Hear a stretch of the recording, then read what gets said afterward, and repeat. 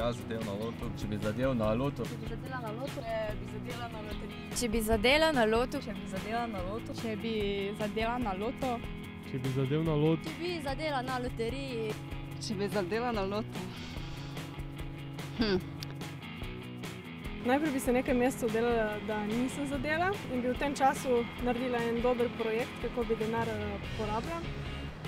Zagotovo bi nekaj šlo v dobrodelne namene, ampak bi to šlo v smislu, da bi jaz naredila projekt dobrodelen in ga potem s temi financami izpeljala. bi eh, verjetno kam investiral denar, pa pol skušal živeti od, eh, od eh, ne vem, ne dohodkov raznih drugih.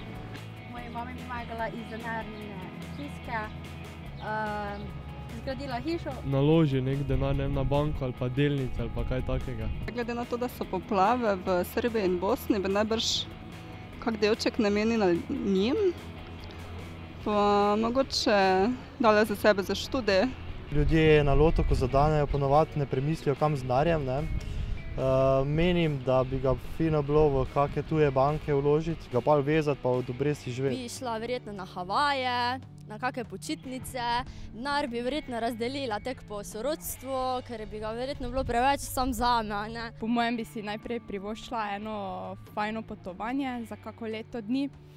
investiral v zlato in nekaj od tega bi si pa vzel za potovanje na pač posveljeni poti z bratom. Uh, pustila bi faks in bi odišla na Bora Bora. Bi najraje šla na počitnice na Karibe.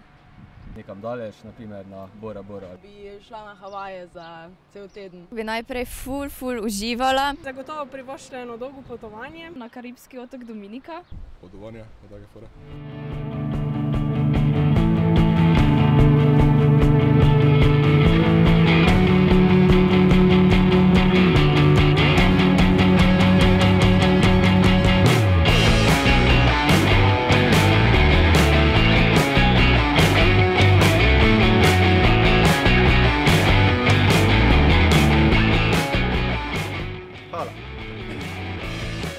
Kaj bi pa ti